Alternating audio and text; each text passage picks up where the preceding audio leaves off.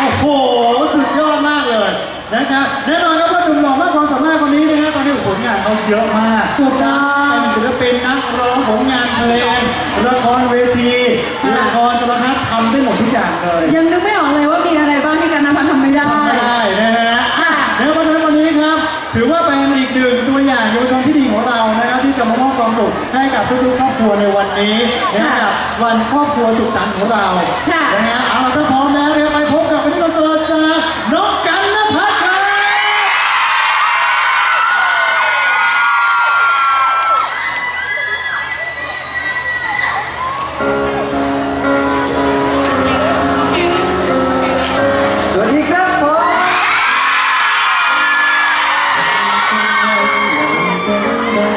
นั